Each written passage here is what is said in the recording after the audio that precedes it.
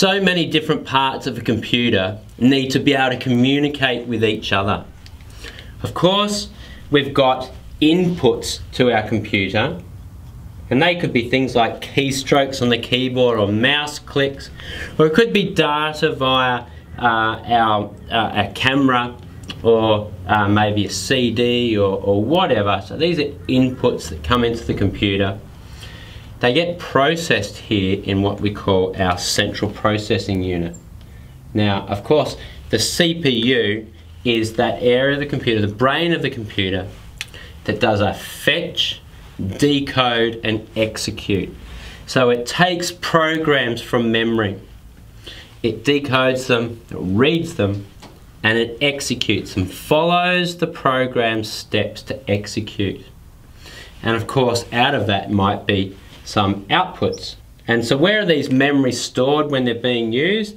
They're being stored in memory. So our RAM or our cache, for example. So we need to, the computer needs to have a language in which it can communicate with all of these different parts. And the language that a computer uses is called binary. So binary simply means, well, bi means two. So binary language is a language of only simply two characters or two digits. We have a zero and we have a one. They're the only two digits. So all of our binary language that the computer uses to communicate is all a series of zeros or ones. The smallest unit we have is called a bit, a binary digit. And that is just either a one of those or a one of those, a binary digit.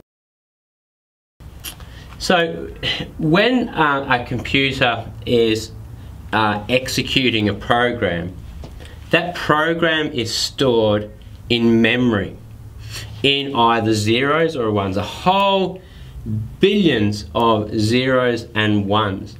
And they are in what are called transistors. So, well, let's just go back and have a think about memory and storage again. So we've got memory, which is our working memory or our short-term memory, and we call this volatile memory. In other words, it only exists when the computer is running. When you turn the computer off, it goes. So that's what the memory is in the RAM. It remembers the programs that are being executed at that time. And the way that it remembers these bits of data is through things called transistors. And a transistor is a switch, an electric switch, that when an electric signal is passed through it, it's either on or it's off. It's only got two states on or off. When it's on on, that is a 1. And when it's off, it's a 0. So our CPU and our RAM have whole have, have millions of transistors that are either on or off. And that is how the memory uh, of a program is stored whilst it's being executed. We also have, of course, our storage. And our storage is our long-term memory. It's called non-volatile memory because it's stored, it continues to be stored once the computer is turned off. So this is on our hard drive. So it might be a, um, an optical drive or it might be a, um, a solid state drive. So this is a hard drive and it actually stores the data again in bits of either um, ones or zeros. But say for example with the optical disc, they're stored by um, the orientation, the magnetic direction of orientation. Uh, but it's the same thing, it's still stored as, as ones and zeros. So whilst of course our uh, uh, so whilst of course our programs, when a programmer writes a program for the computer, it's in a different type of code, uh, a coding language. Maybe it's JavaScript, maybe it's HTML. Uh, but then it then needs to be coded by the computer as a series of zeros and ones. So it's the binary language that the computer understands. And that's how it's stored. Uh, and that's how it's, it's, I guess it's also stored in memory as well when the computer's operating and the computer's actually using the programs.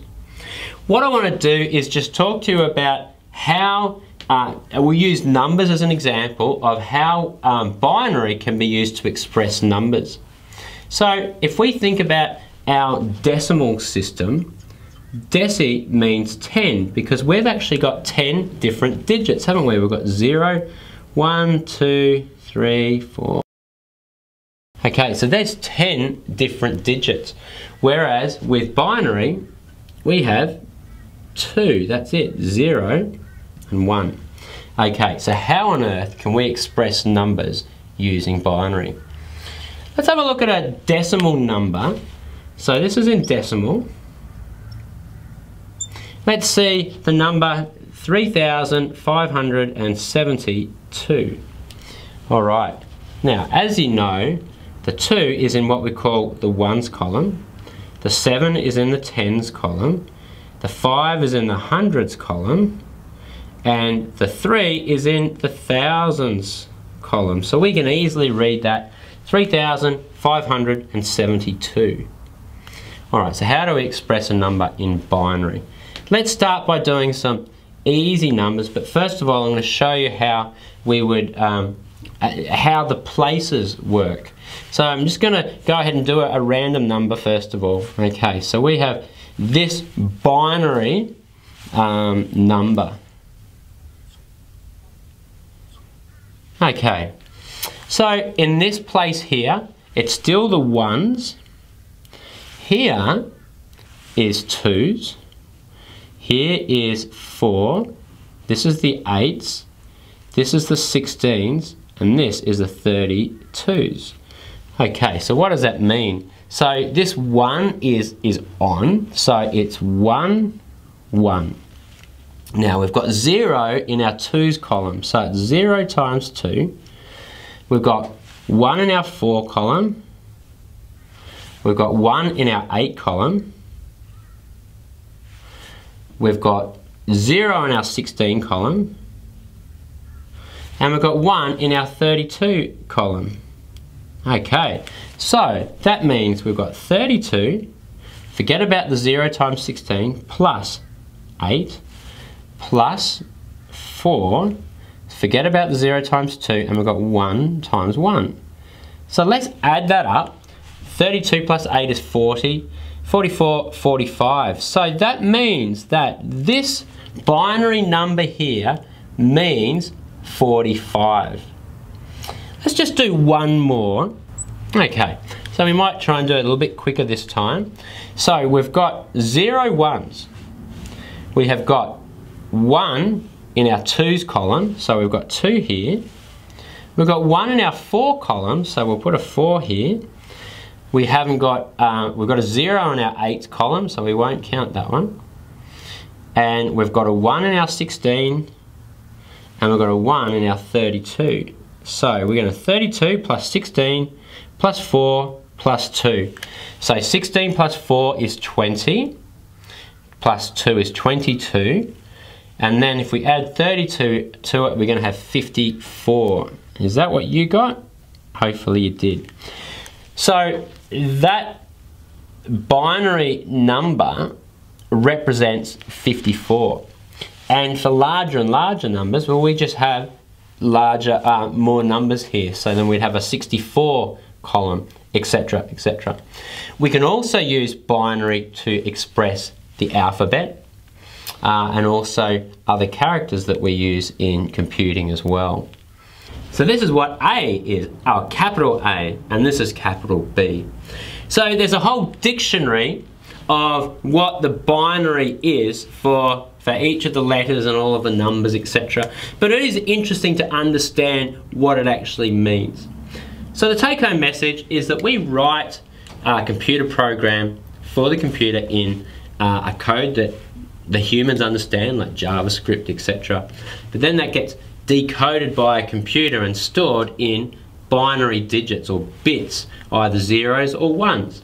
And that is how the commu computer communicates to execute commands and execute programs.